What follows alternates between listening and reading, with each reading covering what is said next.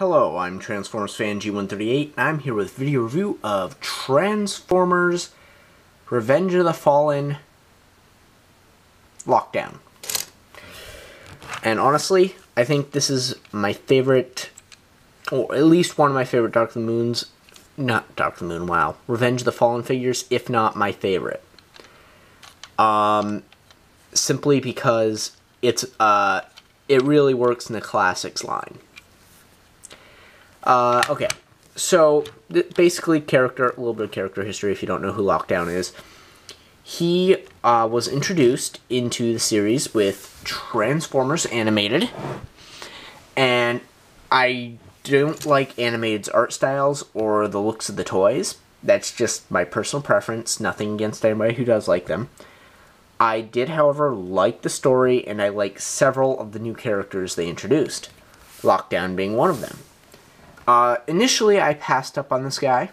I'm like, you know, he's in that line. I really didn't like animated. I'm not going to get this one. Uh, okay. And then the Drift miniseries came out. And then I went to Florida. And I went to Disney World. And this guy was on the shelf. And I'm like, you know what? It's a sign. So I picked him up. Double the price, but I picked him up and I think this is like my favorite Transformer um, from the Dark from the wow again there there again I go saying Dark the Moon Revenge of the Fallen toy line.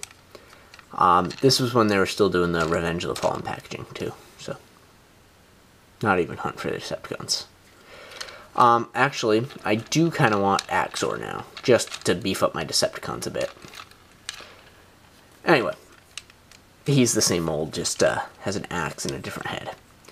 So as far as the actual toy goes, he's got re some really cool features on him, just like in the animated show. He's this weird muscle car.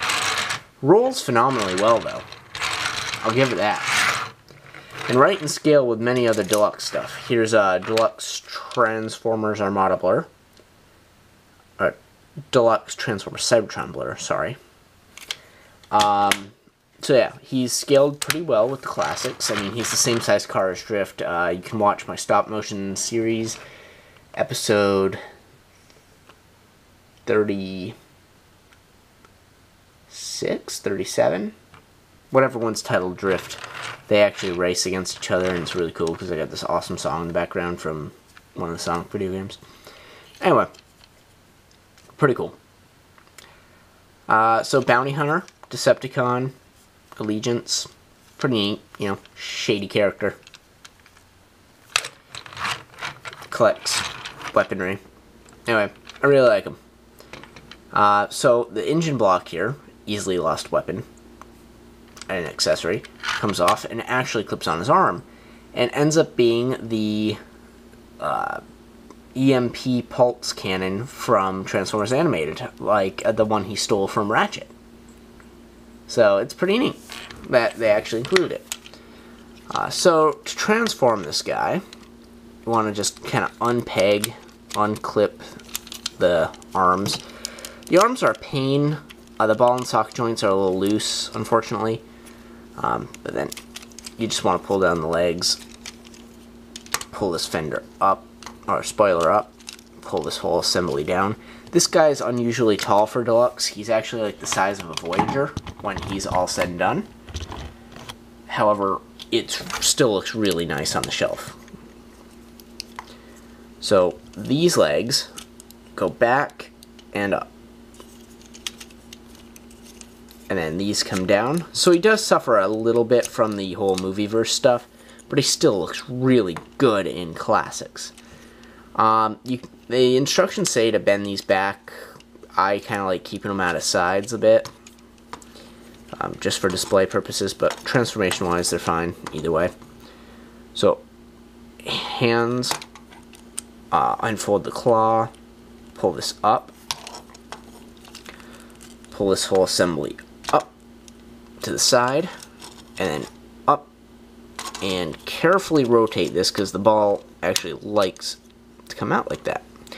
Ah, yes. See, I always get confused because one of these rotates and the other one doesn't. So this one's the one that doesn't. So plug that back in here. This folds down and over, become a shoulder panel. This arm rotates off a clip on here. It really just pegs in. It's not even a sturdy peg, it's just a peg. And then you have one arm done on this side. Pull it up. This armor just kind of sits there. Take this panel and rotate it around. It's a little difficult sometimes. It gets hung up on here. And then we'll take this panel up here, bend it over his head, and down. And there is a peg here, except mine broke off, and I don't know how or why, but it doesn't really make a difference. It'll still stay on. Stay up. It's not loose at all. Um, so the only loose part I have is actually in this arm, and it's actually this joint here that's a one-way pin joint. And if I take a pair of pliers with a soft tip on one side and a point on this end, can actually press that in a little bit tougher, tighter. But as I don't possess uh, the, that particular uh, leather punch, per se, we'll call it, um, I don't actually have the ability to do that at the moment. Eventually. But for display purposes, he's perfectly fine the way he is. He looks creepy and amazing. The engine block clips right here on his arm, just like he did on the Ratchet. And, not the Ratchet, in the uh, show. So you got this awesome look. You can flip these back if you want. I find that gets in a little bit of the way of the spoiler, regardless where it is. Um, he's actually pretty amazing in our, the articulation mode too. So let me adjust the camera a bit. Alright, so for leg movement, he's got a little bit here due to the way it transforms. He's got, his knee joint is a little odd because it's back here, but he still has it. And then he does have a joint here, so you can do some weird, you know, Decepticon movie style stuff. Um, you know, he's got a hinge here, a hinge here. If you actually swivel here above the knee, that actually moves all this part in his upper leg. It's pretty awesome.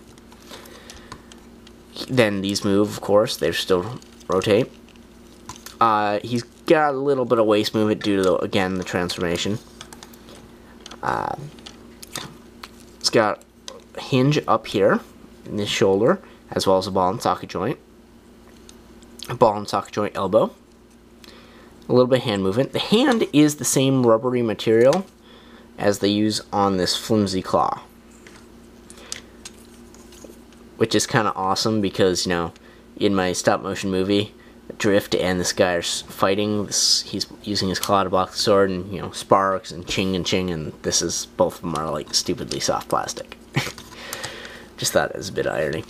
Um, okay, so this side, got the same hinge, ball and socket joint, ball and socket joint down here. The whole claw swivels in and down due to transformation, but it still moves. His head actually has a swivel, a ball and socket joint, and another ball and socket joint. So you can really extend the head up, down, do the whole hunchback thing, look around. He is fully like he is in the animated cartoon, except more classics verse style. And honestly, when he appeared in the comic book, this is pretty much what he looked like. Spiky, awesome looking pain in the butt Decepticon. I like him. I think this is like the best movie classics thing they've ever done and this gets my highest review here. I'm I was so impressed by this that you know I was just so impressed by it. I mean, um, yeah, I can forgive the loose joints a bit. You know, it happens all the time, but it is what it is. If you have any questions on the character or his origins or the figure, please post a comment down below. If you have a request for a video review, also post a comment down below. I believe that's it. Light piping is good, by the way. And if that's it, then I'm done. Thanks for watching. Highly recommended.